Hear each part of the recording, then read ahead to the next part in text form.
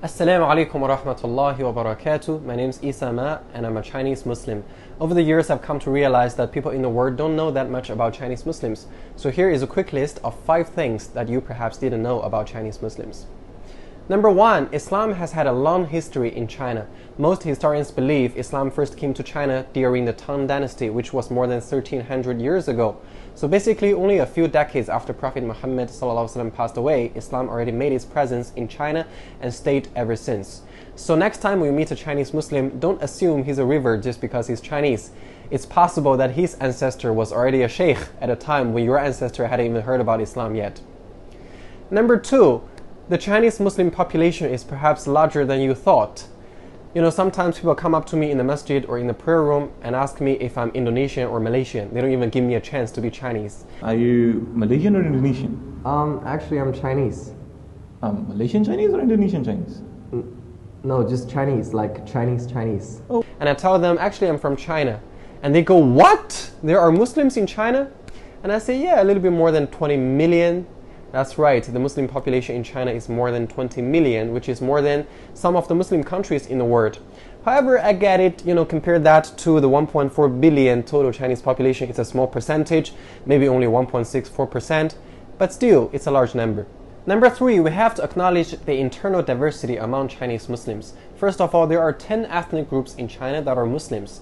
When we hear about Chinese Muslims, uh, recently, due to the recent events and the media coverage of them, we immediately think about the Uyghur Muslims. May Allah ease their affairs and protect them from any harm. However, they are only one of the 10 ethnic groups in China that are Muslims and not even the largest group in terms of population.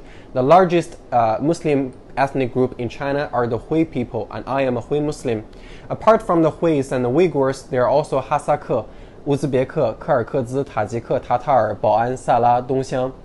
Uh, and that's only one side of the diversity of Chinese Muslims. They are also diverse in the sense that there are different schools of thought, different methodologies of practicing Islam, there are differences of opinion regarding certain scholarly issues. So when you talk about Chinese Muslim, you cannot presume that they are all the same just because they're all Chinese. We have to acknowledge the internal diversity. Number four, many of you might be thinking it must be really hard to find a halal restaurant or a masjid in China. But the reality is, in certain areas of China, there are more concentrated Muslim population than other parts. And in these areas, it's actually quite easy to find halal restaurants and uh, masajid. In northwestern China, for example, I've made a documentary about my hometown Lanzhou. You can, you can see it on my YouTube channel. And you will see that there are more than 100 masajid in the city, and halal restaurant is easily accessible. In southwestern China as well, there are some villages and towns that are majority Muslim. I've also shown some videos of Shadian. Uh, this is a town with uh, majority Muslim population, and you can easily find halal restaurants and masajid. In my hometown, there are many Pakistani people doing business there, and they don't find much difficulty being a Muslim uh, in this part. So northwestern China and southwestern China have a larger uh, Muslim population, and they're more noticeable, and uh, life will be easier as a Muslim in these areas in terms of food and convenience. Number five, another thing that happens to me a lot is when people hear I'm a Chinese Muslim, they want to teach me how to make wudu, they want to teach me the alphabets of Arabic language, they want to uh, teach me the basics of Islam. They assume that I am very ignorant of Islam. But again, the reality is there are many huffaz in China that can recite the Quran beautifully with very good tajweed.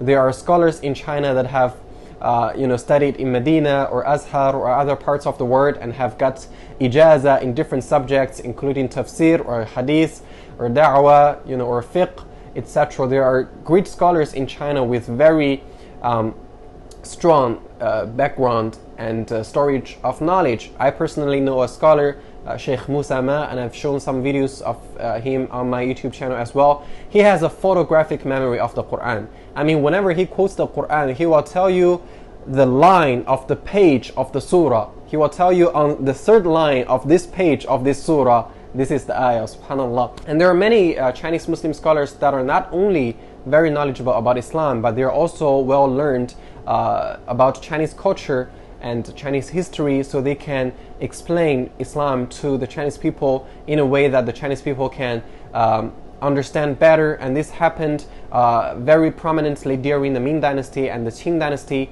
when a lot of Chinese Muslim uh, scholars wrote books that used uh, Chinese cultural elements and concepts to explain Islam to the Chinese people, and it was very effective at the time. And when I read these uh, scholarly books, I sometimes get amazed by their wisdom uh, and uh, the amount of their knowledge, and I still uh, learn from them until this day. So don't assume a Chinese Muslim is very ignorant of Islam. Uh, you could be talk you could be talking to a scholar when you meet a Chinese Muslim uh, that that is well respected in the Arab world or you know in other Muslim countries. So that is a quick list of five fun facts that perhaps you didn't know about Islam in China and the Muslims in China. Hope you've benefited from this video and please make dua for me so that I can more, make more beneficial videos and also subscribe to my channel so that you don't miss any future videos. Jazakumullah khairan for watching. Assalamu alaikum wa rahmatullahi wa barakatuh.